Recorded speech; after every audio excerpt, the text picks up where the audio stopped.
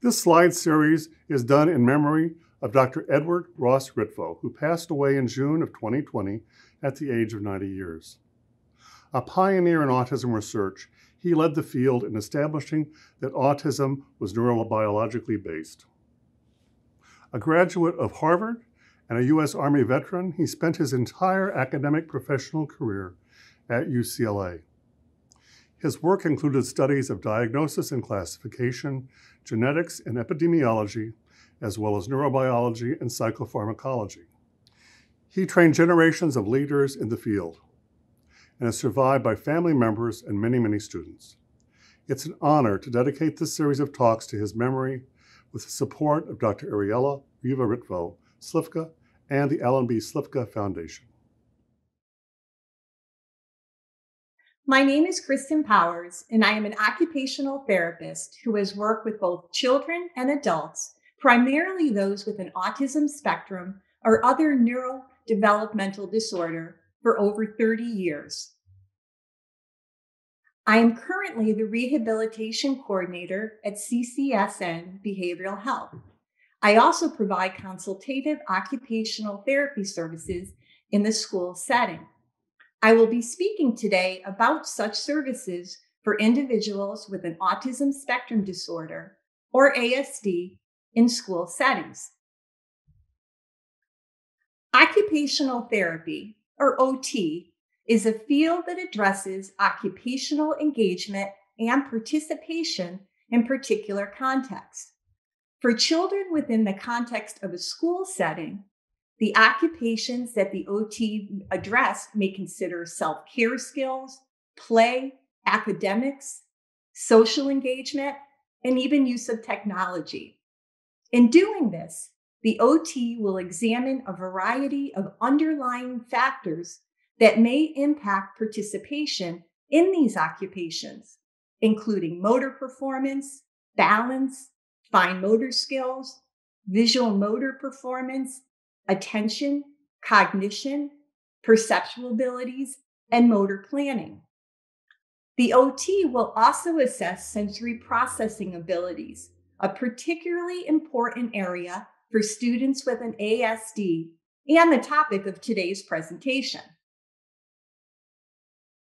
There are some words that we will be talking about that are used frequently by OTs to explain different concepts in sensory processing, an area that we will go into in more detail. Neurological threshold refers to the amount of sensory stimuli that is needed to generate a response. When the nervous system responds quickly to sensory stimuli, we describe that as a low neurological threshold. When the nervous system responds slowly we describe that as a high neurological threshold. We ultimately want a balance so that a student is attentive to important details, but doesn't become overwhelmed. Self regulation refers to the ability of managing one's own sensory need. This can allow us to manage sensory information by obtaining needed input or withdrawing from aversive or unpleasant stimuli. Hyperresponsivity refers to an overreaction to sensory information. A child who covers her ears with the sound of a vacuum may be demonstrating a hyperresponsive reaction. Hyporesponsivity refers to an underreaction to sensory information. A child who displays an extremely high pain tolerance may be demonstrating a hyporesponsive reaction. When we talk about the vestibular system, we're referring to the part of the inner ear that manages balance and spatial orientation. Proprioception is a term that refers to the sense of body position and awareness of movement. Proprioceptors are located within muscles, joints, and tendons and are triggered by movement. The final term, interoception, refers to the perception of the internal state of the body. This involves such states as hunger, thirst, and fatigue. At the conclusion of this presentation, participants will be able to define sensory processing and discuss the impact of sensory processing challenges for a student with ASD. Participants will identify the differences between high and low thresholds of arousal and how this may be seen in the classroom. Finally, and most importantly, participants will be able to identify strategies that can be used with students to assist with regulation in the classroom and around the school. Sensory processing is the connection between our neurological functioning and the environment. It allows for the management of the sensory world around us. It helps us to learn appropriate responses to typical sensory experiences and allows us to maintain a regulated state throughout the day. For students with sensory processing challenges, we may observe clumsiness, poor body and space awareness, overreaction to touch, covering of the ears as if to block out sound, excessive seeking of or withdrawal to sensory input, and poor motor planning. Sensory modulation allows for ongoing adjustments to new or changing stimuli. Think of your reaction to hearing a loud, unexpected noise at 3 p.m. versus 3 a.m. Some individuals with ASD may display the same reaction at 3 p.m. that they did at 3 a.m as they have difficulty adjusting to incoming stimuli. Poor management of incoming sensory stimuli can lead to a student becoming easily overwhelmed, resulting in fluctuations in arousal. An example I often use to illustrate this is driving a car. On most days, we can drive with our kids talking in the back seat and listen to the radio while going from one place to another without paying too much attention to details. Now, think about what it happens when it unexpectedly starts to sleep. We hunch over the wheel, turn off the radio, and tell everyone in the car to stop talking so that we could see where we are going. There is considerable impact of sensory processing challenges in the school setting. If sensory information isn't organized properly, it may lead to problems with everyday activities. We may see difficulty with the physical aspect of dressing due to poor body awareness and manipulation, behavioral challenges due to regulation issues, anxiety, depression, and even learning difficulties in school. Students may have a difficult time shifting attention as they overattend to unimportant sensory cues, such as the hum of fluorescent lights in the classroom. They may display exaggerated responses to seemingly benign sensory occurrences, such as another student accidentally bumping into them. Some students may avoid situations or settings that provide unwanted sensory experiences. For example, some students avoid the cafeteria due to the combination of sights, smells, and sounds. Winnie Dunn provides an excellent framework to understand the interaction between our neurological threshold, how soon we respond to sensory stimuli, and self regulation, our ability to manage sensory information. For students with a high neurological threshold, they may respond more slowly to stimuli and tend to be hypo-responsive or need a lot of sen- sensory stimuli for registration. These students may appear passive or lethargic and may not notice sensory cues around them. For students with a low neurological threshold, they may respond more quickly and tend to be hyper responsive or need little sensory stimuli for registration. These students may display a fright, fight, or flight response to sensory experiences, or even sensory defensiveness. These students may avoid sticky materials, playground equipment, or going into the cafeteria. Students may have an active style of self regulation to manage their needs and seek to provide necessary sensory input. Other students may have a passive style of self regulation and merely allow things to happen. These students may need our support to help them obtain the appropriate amount of sensory input. By understanding these unique patterns, we can then modify the environment to provide opportunities for additional sensory input or to structure the environment to reduce sensory stimuli. While we understand that students may be seeking or avoiding sensory input, it is also important to understand the different types of sensory input that may be affecting the student. In doing so, we must consider the different sensory systems the visual system, a response to the visual environment, the auditory system, response to sounds, the tactile or touch system, the vestibular or movement system, the proprioceptive system, which incorporates body awareness and body position, oral sensory, referring to the mouth and sense of taste, and finally, the olfactory system, referring to the sense of smell. Students who are hyper responsive or overreactive to visual input may avoid bright lights or press or rub their eyes. Finding objects in visual clutter may also be challenging. They may have a harder time in classrooms that have a lot of decorations and visual information on the walls. Students who are hypo-responsive or underreactive to visual input may seek spinning items or bright clothing. These students may be slow to respond to their visual environment and may ultimately require more time to generate a response to visual information.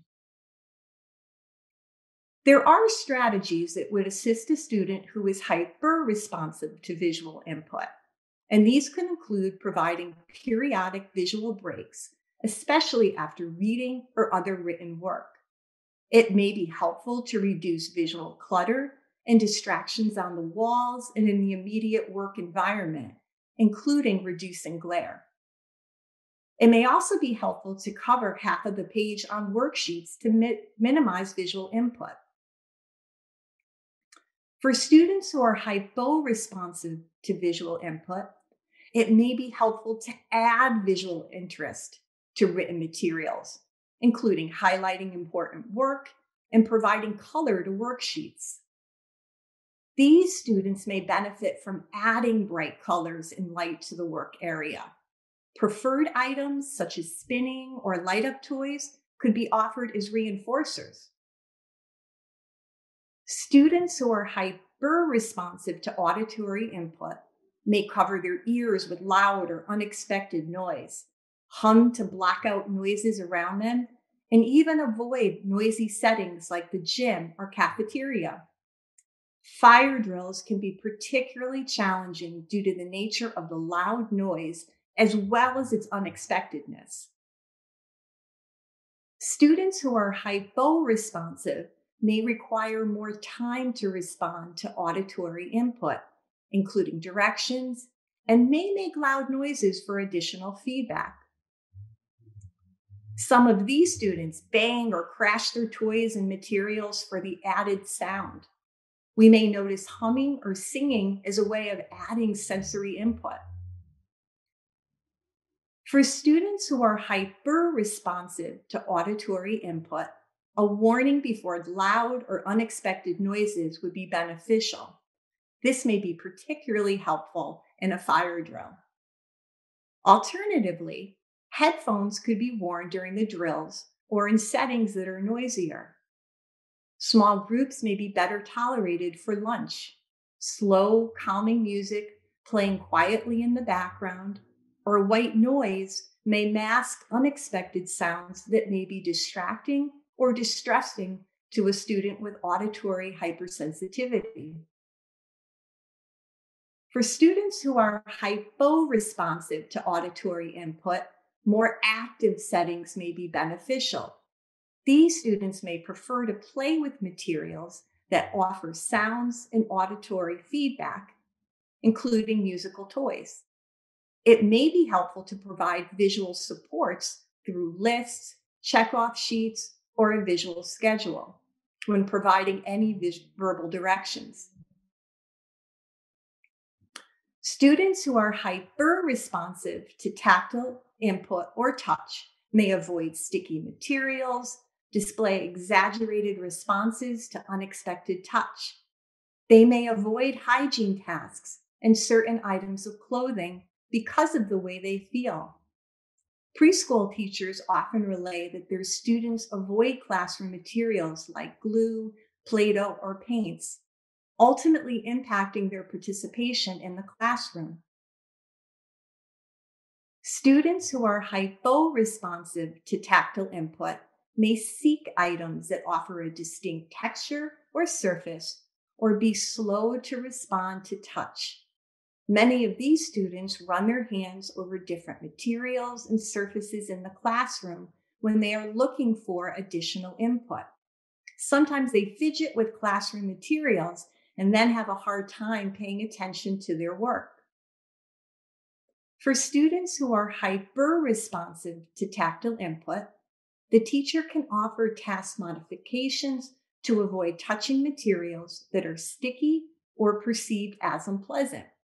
For example, use of gloves during cooking activities or a paintbrush with gluing activities can help the student participate with her peers. It may also be helpful to place the student at the end of a table instead in the middle of a group of three. It is always recommended to be judicious with the use of unexpected touch, including hugs or tickles.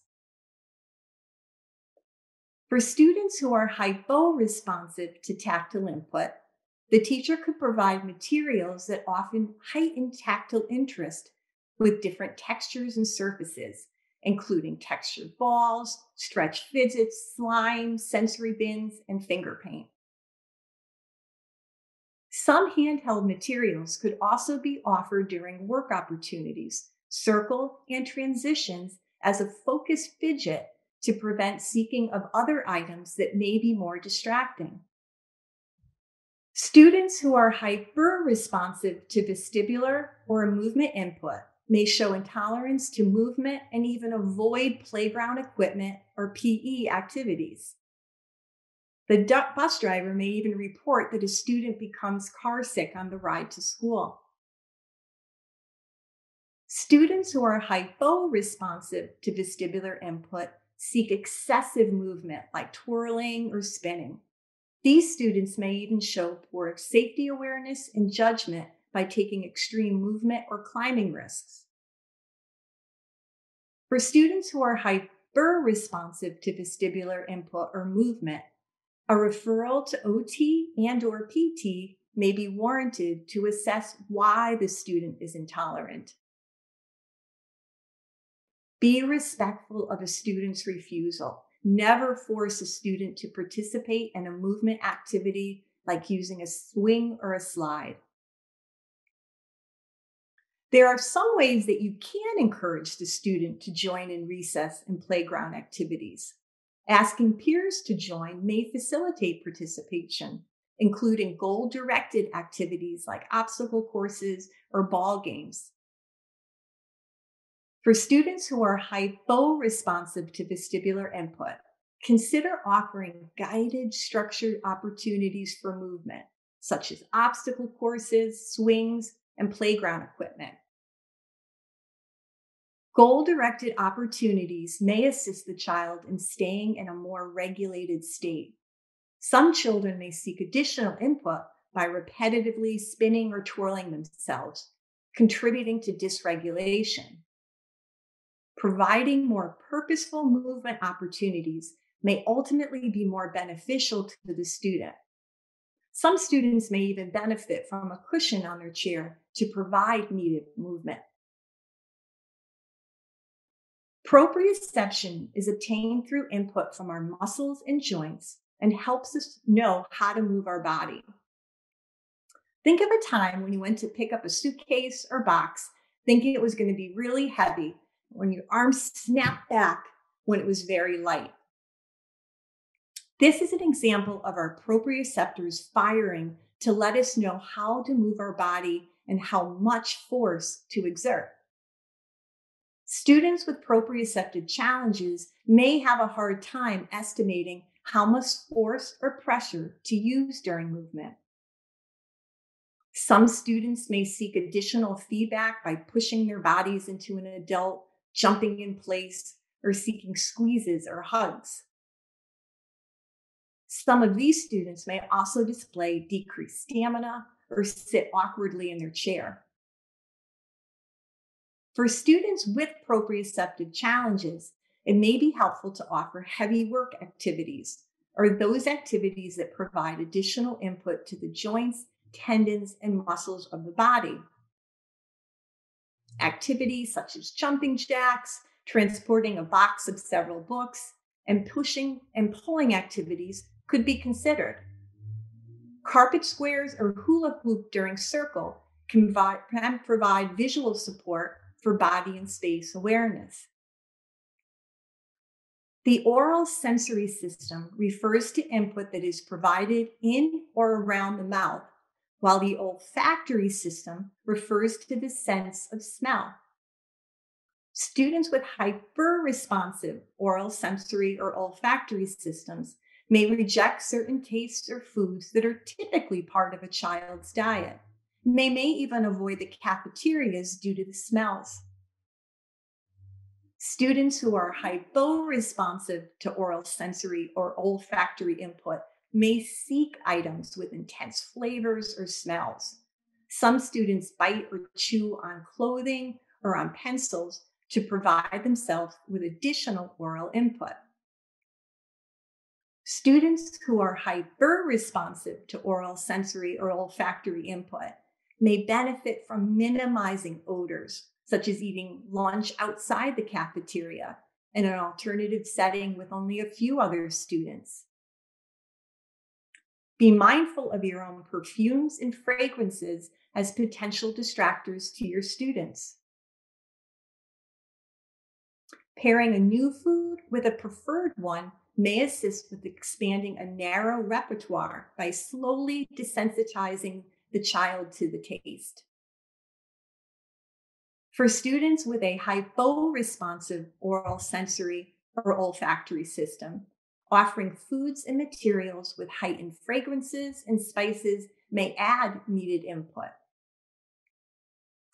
The OT or speech therapist can offer suggestions for oral motor tools and foods that can provide additional oral sensory input, including chewy foods, gum, or whistles.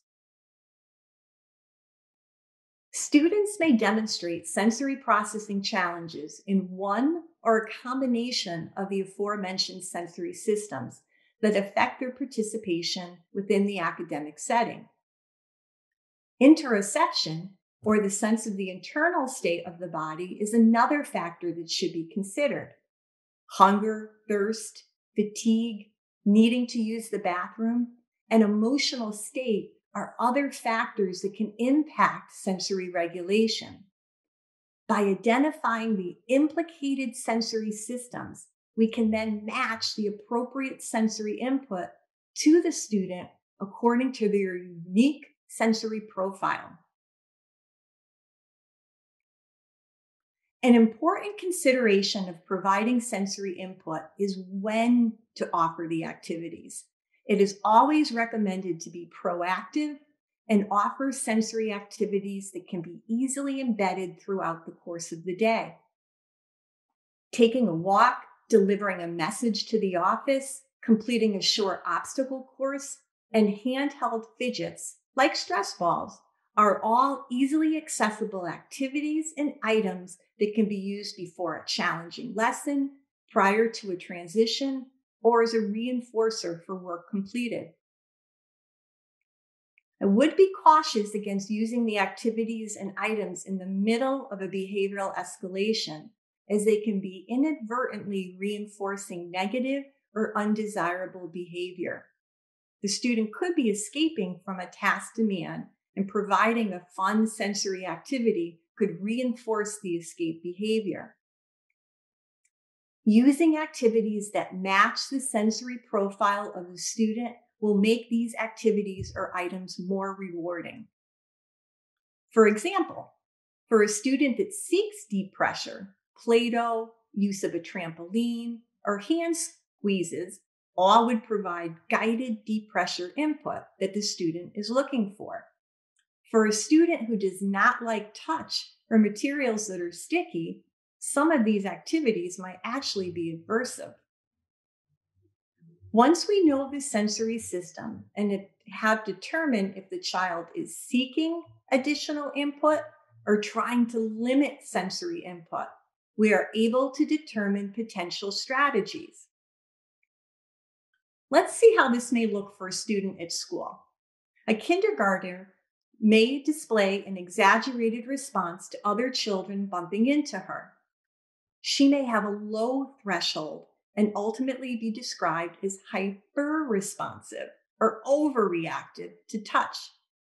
This child may even actively avoid situations where unexpected touch may occur. The teacher may see this in the classroom when the child wants to always be last in line so that no one bumps into her unexpectedly. Additionally, the student may not want to use glue or other sticky materials. For students who are hypersensitive, guided and gradual exposure or desensitization may help increase tolerance. For example, the teacher might ask the child to touch finger paint with the tip of one finger and wait five seconds before washing her hands. The next time the student is asked to finger paint, the teacher may ask the student to touch the finger paint with the tip of two fingers and wait 10 seconds before washing her hands. We may also want to consider modifying the environment to limit unexpected touch. The teacher could place carpet squares on the floor during circle or have the student sit at the end of the table instead of in the middle. The teacher might offer the use of gloves or a paintbrush for gluing activities. Another common observation that is seen in school is the child who is actively jumping and running around the classroom. This child may be seeking additional movement input as well as proprioceptive input by the jumping. This student may be hypo-responsive or slow to respond or underreactive to this type of input. Providing opportunities for guided, goal directed input may be beneficial to the student. For example, offering a child a set of four short motor steps to complete upon arrival at school and prior to periods of sustained listening may help the child attain needed movement opportunities without becoming dysregulated. Today, we address the impact of sensory challenges for students with ASD within the academic setting. The school based occupational therapist is an excellent resource in helping determine the sensory profile for these students. Understanding the implicated sensory system and whether the student is seeking additional input or trying to minimize sensory stimuli will allow us to modify the student's immediate environment and offer opportunities that match their sensory needs. Thank you so much for attending today's presentation. The next slide contains recommendations for further reading followed by the references for this presentation.